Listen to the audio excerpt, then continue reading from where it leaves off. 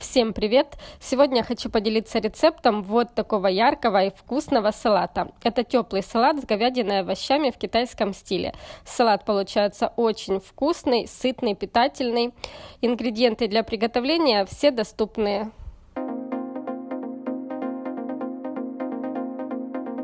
Мясо изначально лучше отправить в морозильник на несколько минут, чтобы оно подморозилось, его легче потом будет нарезать. Сразу же делаю маринад для мяса. Беру столовую ложку кукурузного крахмала, добавляю столовую ложку соевого соуса и 2 столовые ложки воды. Тщательно перемешиваю вот так.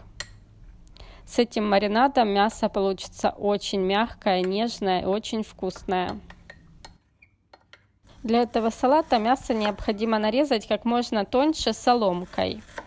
Это легче сделать, когда мясо чуть подморожено. Нарезаю вначале вот такими кусочками поперек волокон, а затем делаю соломку. Теперь заливаю мясо маринадом и хорошенько перемешиваю. Оставляю мясо так мариноваться минут на 30. Но лучше оставить мясо на час, на полтора, тогда оно хорошо промаринуется и после жарки будет очень мягкое. Вот так и все, отставляю в сторонку. Азиатские салаты характерны своей тонкой нарезкой, соломкой, поэтому практически все овощи нарезаю также соломкой. Лук перьями, вот так, вдоль луковых колец. Морковь нарезаю вначале кольцами, а затем делаю соломку. Вот так.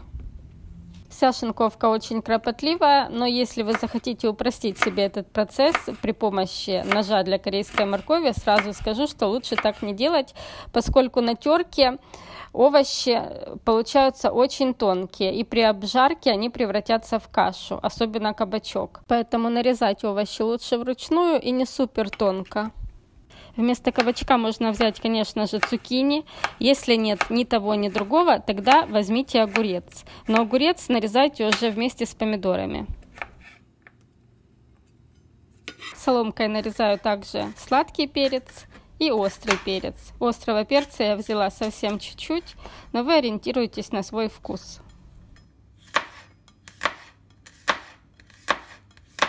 Листья салата замачиваю в воде вот так. Так они быстрее очистятся и станут свежее. А теперь разогреваю хорошо сковородку. И первым буду обжаривать мясо. Вливаю растительное масло 2-3 столовые ложки. Мясо обжариваю вначале на сильном огне пару минуток, чтобы оно схватилось. Затем уменьшаю огонь до минимума, накрываю мясо крышкой и жарю минуток 5-7, время от времени помешивая. Затем добавляю измельченный чеснок и довожу мясо до готовности. В общей сложности на приготовление мяса уходит где-то 10-12 минут, не больше. Не пересушите мясо, иначе оно будет очень жесткое, как сухарики. Готовое мясо перекладываю в салатник. Затем убираю со сковороды пригарки, если они есть, и продолжаю жарить остальные овощи. Следующий идет лук. Жарю его до готовности, но не пересушивая его до вот такого состояния. И тоже выкладываю к мясу. Убираю со сковородки пригарки при помощи бумажной салфетки. Доливаю растительное масло и обжариваю морковь до готовности, но не сильно, чтобы она мягкая была. До вот такого состояния и тоже перекладываю в салатник. Затем обжариваю сладкий перец вместе с острым перцем. Тоже до готовности выкладываю в салатник. И кабачки. Вот так.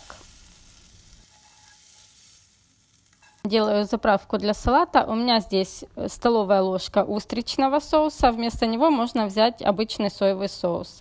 Добавляю сюда 3 столовые ложки кисло-сладкого соуса. Вместо кисло-сладкого соуса можно взять обычный кетчуп. Все перемешиваю и вливаю заправку в салат.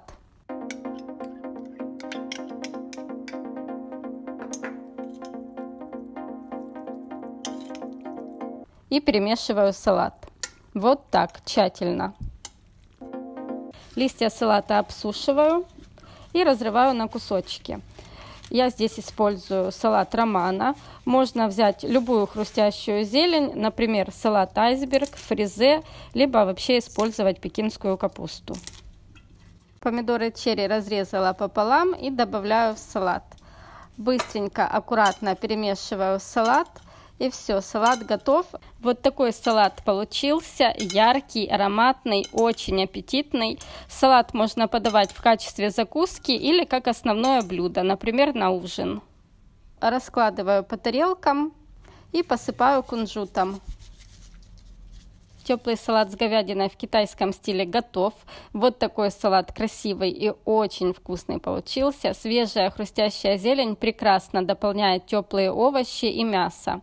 Салат очень вкусный, питательный и полезный. Если вам понравился рецепт, ставьте лайк и подписывайтесь на мой канал.